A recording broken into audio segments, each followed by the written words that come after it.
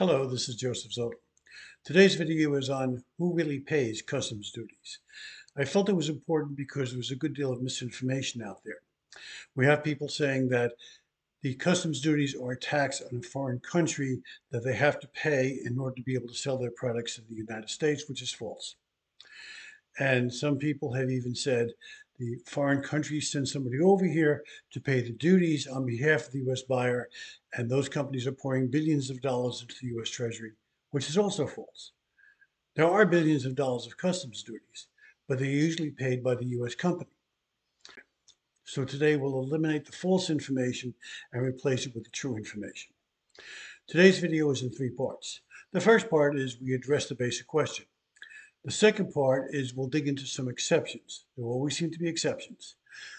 The third part is getting into the weeds on customs duties. And that isn't for everybody. It's a technical aspect that not everybody needs to go this deep. Feel free. But it is of importance to you if you work for a company that imports and exports, even if you're not in the part of the company that is involved, because opportunities may open up for you in the future and having a basic, basic knowledge of customs duties is only going to help you. It's not going to hurt you. Likewise, if you're a business major or if you're an MBA candidate, even if you don't plan on working for a company that does anything internationally, you don't know what lies ahead, either with another job offer in the years ahead, or if your company decides to go international, your basic knowledge of customs duties will give you a certain advantage in getting involved in the part of your company that's expanding that will be closed to others. So if you fall into those categories or you just plain want to know a lot more than the first two parts, feel free. But I have to emphasize we're talking about a very complex area and we're doing it in a short video. So great oversimplification. So anything I don't directly say, don't assume because we won't cover all the details, we won't call, cover all the exceptions, and we won't get fully into the weeds even in part three just by time constraints. Glad you joined me today. As you see behind me, I have some books for sale. In the description below, I have the link to Amazon. My books are available in Kindle as well as in paperback. And if you want, you can also buy me a coffee. So with those first steps, let's delve in. The person responsible for paying the customs duty is the U.S. importer of record. That is usually the person who is the buyer, who is the importer, and when they file their customs entry with Customs and Border Protection, they become the importer of record. They are responsible that the documentation is done correctly. They are responsible the duty is paid in full and on time, as you would expect, not the foreign seller. Customs and Border Protection under the law wants an importer of record who has a presence in the United States. So if something goes sour, they can go call on the person, get it corrected. If there's a fraud, somebody is misrepresenting the value of the merchandise or misclassifying it for the wrong duty rate, they want to be able to go after that person legally if they have to. And there are fines and other penalties involved for customs violations, as you would expect. And if a company's only location is, say, in China, well, Customs and Border Protection doesn't have the necessary authority in China. So that's why it has to be somebody in the United States. So in many cases, a foreign company that you might buy from is incapable of ever being the importer of record in the United States because they're not here. Typically, my rule is if I'm responsible for something, I'm in control over it, which means I want to pay the duty. I want to file the documents. I want to be in charge of what I'm responsible for and make sure that it's done properly on my behalf as well as my company. Because individuals can get into trouble too if something is misrepresented. So there's the incentive. So as a US company, we're out to buy a product from China. And we're going to buy 1,000 units at $1 each for a total price of $10,000 Ex Works, abbreviated EXW. Now, that is a term of sale that simply means the price of the goods on the shipping dock at the factory, the warehouse, the initial shipping point that the goods will be moving international from, not the dock at the pier. Ex-Works is a term in Incoterms. We are now on the Incoterms 2020 version. I will put a link below to where you can purchase the book if you want from Amazon.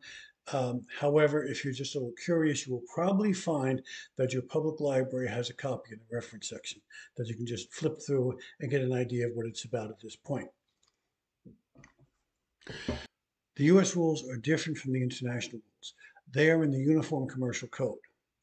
The code has been adopted in slightly different versions by every state, but the terms of sale are pretty much the same. They have to be because we do do so much shipping interstate. So that can be found at your state law library, which probably has your state statutes available online for you. So you can check those out too. Now, the reason I bring this up here and now is not only because the international rules and the US rules are somewhat different, but both sets of rules use the initials FOB for free on board, but they mean different things. Different things. A lot of money has been lost, a lot of sales have been lost, there's been a lot of frustration in US companies trying to do an international transaction, FOB, and not understanding that it's not the same as our domestic definition. So that's something of a slight digression, but I think it's important to cover. What Ex Works is the price of the goods to the buyer right there on the dock, ready to ship out from the producer's location. Without anything being done to it, no transportation to any place, no duty being paid. The price of the goods, $10,000. 1,000 units at a dollar a piece, $10,000. And we can arrange our own transportation here, do our customs entry, and pay our duty. Why would the foreign seller want to pay the duty for us? Let's say it's 10% or $1,000. They're simply going to reduce their profit by $1,000 unless they increase the price. So the odds are they'll say, fine, the price is $10,000 Ex Works, and if we send over the money for you to pay your duty, the price is $11,000. First, we have to collect it from you, and then we'll send it back to you to pay the duty. So it's all convoluted. Also, they may charge you $1,200 because, see, now they have extra steps to do, so they want to charge out their employees' time to you and maybe even make a little bit extra profit on this part of the transaction. So, for everybody's convenience, it is generally a better idea to purchase on term of sale that does not include the foreign seller getting involved in customs clearance or duty payment here in the United States, or for you, if you're an exporter, to get involved in customs clearance and duty payments in another country with another language and somewhat different procedures. The seller should take care of export clearance, shipping the goods out of the country legally according to that country's laws, an export license if needed. And the buyer should be responsible for handling the importing. As import of record, documentation, customs inspection, payment of duty should be entirely on the part of the buyer. That's how it works efficiently. So that's how it works almost all of the time.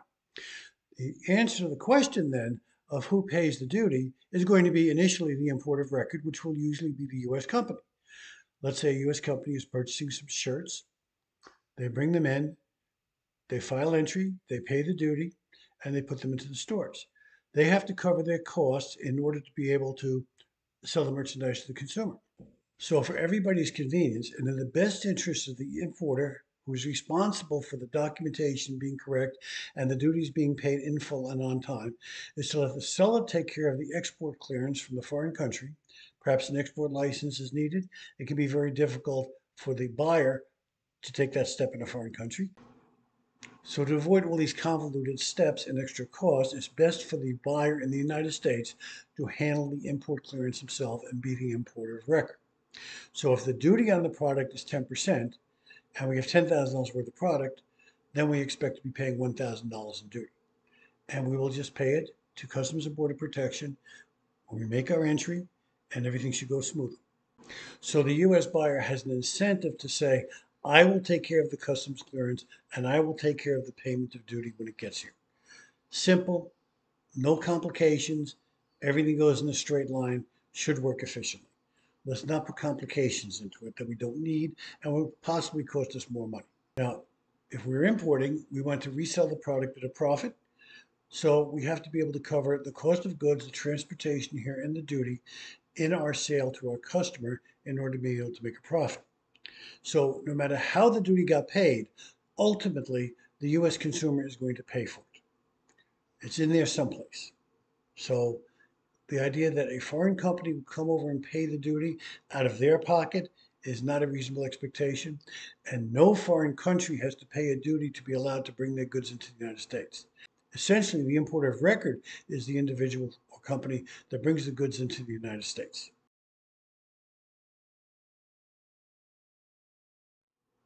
So, exceptions. Suppose the duty rate on an imported product goes from 10% to 20%. The U.S. importer has an incentive to raise his prices in order to be able to still make the same profit he was making before, covering that additional duty. But in some cases, the importer may keep his price steady in order to not overprice himself in his domestic market, be able to stay competitive and say, I would like to sell as much product as I can, even if I'm making a little bit less money on it, I will come out ahead than if I raise my prices and sell less product. Sometimes the cost may be passed on to the retail store and they may absorb the extra cost to be able to make it more affordable for the consumers. But it is not unusual for the cost to simply be passed on. Taking this model is also not impossible for your foreign supplier to agree to reduce his price by the amount of the duty to help get into your U.S. market. So $10,000 worth of goods, $1,000 worth of duty, they lowered the price to $9,000. In a way, they're paying the duty. They're really giving you a discount, enabling you to keep the money in your pocket in the first place to be able to pay the duty. So, another exception suppose we have a car company in Germany that ships to their company here in the United States, their distributor that they also own. And that is the company that sells to dealerships, which are usually franchises. So the distributor here would be the importer of record. They would be responsible for the payment of duty. And they can take it out of their checkbook and uh, pay the duty. But since they're related parties, it's not that difficult for the German company to send the wired money over to the United States to the distributor, say, here is the duty money, we're subsidizing you, and you'll be able to make your entry with this money that, uh, that you now have in your account. So in essence, Germany is paying the duty to be paid in the United States. Customs and Border Protection does not care where the money originally comes from, as long as it's paid in full and on time. But the Internal Revenue Service does, and the German tax authorities will. So if you're dealing with a related company that would like to have the exporter forward the duty money to the importer of record, it affects the books of the company, the financial statements, and hence the tax returns. So if we have a large shipment of cars, and let's make it a million dollars worth of duty.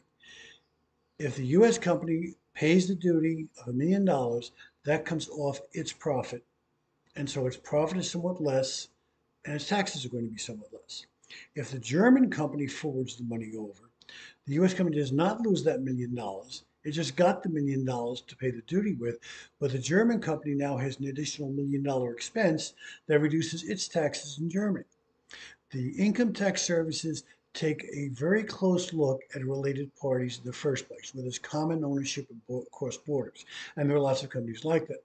And if they are buying and selling between them and it affects duty, they take a close look with a magnifying glass. So we're getting into some technical things here. Now we'll go even further, right into the weeds.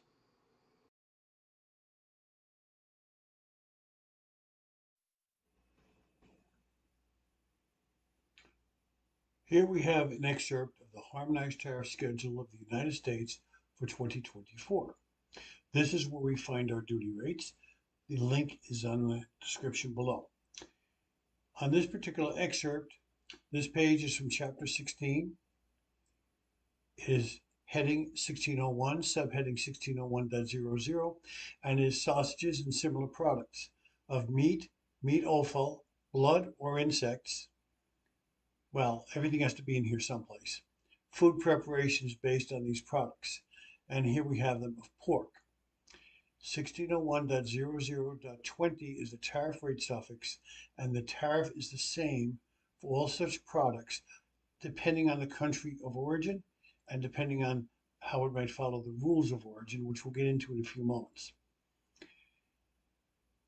The product is either canned, statistical suffix 10, or other statistical suffix 90.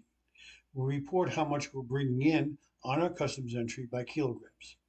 So we have two possible harmonized tariff schedule of the United States numbers here, 1601.00.20.10, 1601.00.20.90. We have to have the right classification. Here we have our duty rates. Column 2, column 1, column 2 at this time consists of Cuba, North Korea, Russia, and Belarus. So you are not likely to be big importers from any of those four countries at this time. And I, I should say too, it's the country of production, not the country that you're importing from necessarily. Uh, something could be made in Germany and you buy it from an exporter in the Netherlands and you bring it into the United States, it would still be a German product. So the country of origin is really the country of the production. Everybody else is in column one. We'll start in the general column, which is 0.8 cents per kilogram. That is the duty rate here. As you see further down, we have duty rates also by percentage. This is a specific duty.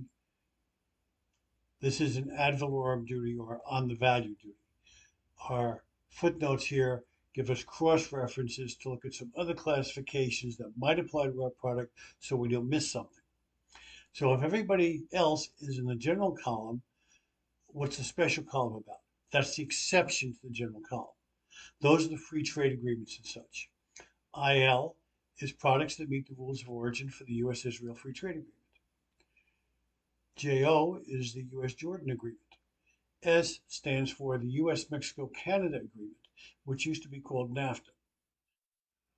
So if everybody else is in column one, what can be classification that, that the general rate doesn't apply, but the special rate does, which as you see here is free under certain conditions. That's if they meet the rules of origin for a particular kind of product under a particular trade agreement or trade concession. The U.S. Israel Free Trade Agreement, JO is U.S. Jordan, S is what is now called the U.S. Mexico Canada Agreement, which used to be called NAFTA but underwent a name change in 2018. It is worth looking into the history of that a little bit. There were some people some years back who said NAFTA was a terrible treaty to the disadvantage of the United States and President Clinton was wrong to negotiate the treaty. In the first place, the treaty was negotiated in 1992 under President George H.W. Bush. It was shepherded through the Democratic Congress in 1993 under Democratic President Bill Clinton. So we had the Republicans and Democrats working together in a bipartisan manner to get this agreement through. The people who said NAFTA is a horrible treaty detrimental to the United States have never been able to point out to me what that horror is, why it is so terrible. Although, yes, some companies benefited because of NAFTA and some companies were hurt because of NAFTA. So, for example, copper mined in Mexico qualifies under NAFTA.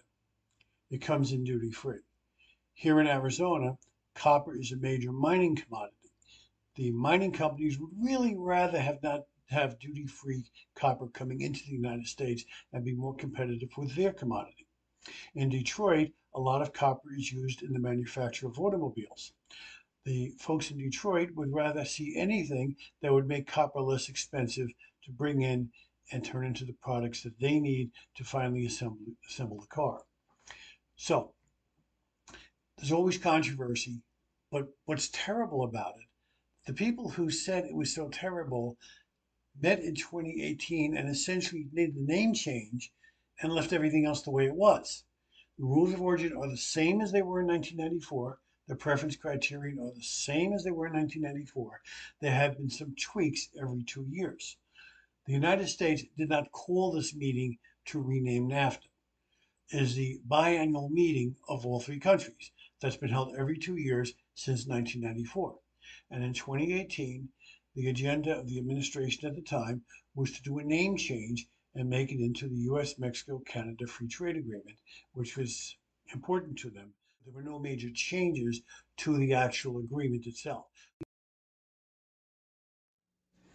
Let me point out too that if you exported to Mexico, certifying a product qualified under the US Mexico Canada Agreement, and it really didn't, after the U.S. Customs and Border Protection catches up with you and is ready to start charging the fines, they will also notify Mexican Customs that there was an invalid certificate issued.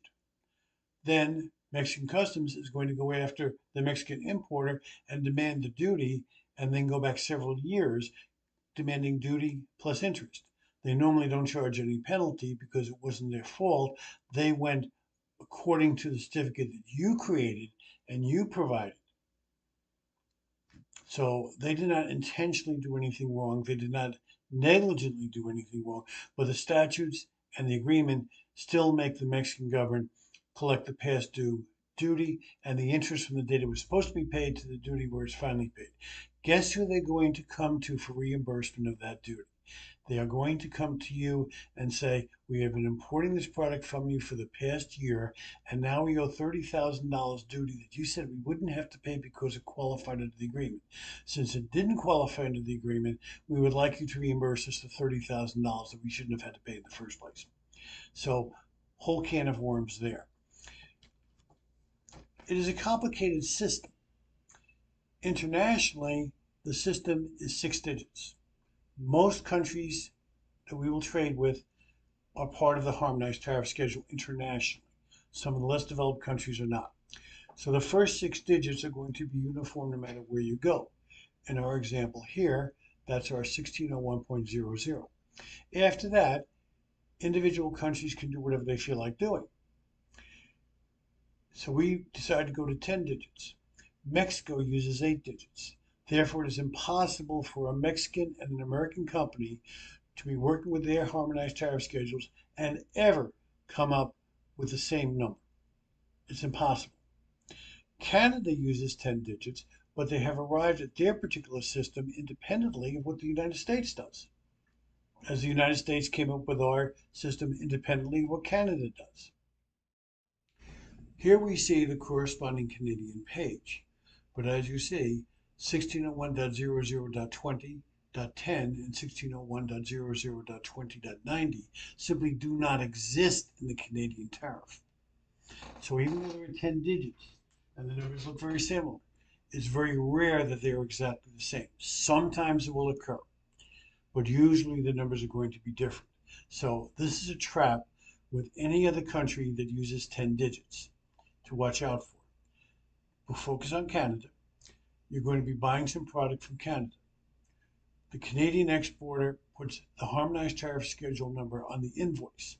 You may be tempted to say, well, they've already classified, it's their product, they must know what they're doing, so we'll just use the same number here. And your entry will be rejected, and you'll have a penalty for misclassifying your entry because you're putting in a number that does not exist in the United States. Same in reverse, if you put a U.S. harmonized tariff schedule number on your invoice and send it into Canada, they use that number, they're going to have a problem. So we want to be sure to always do our own classification. So essentially, I am against putting a harmonized tariff schedule number on any invoice or any document that goes directly to your importer at the other side. They should do their own classification into their own system.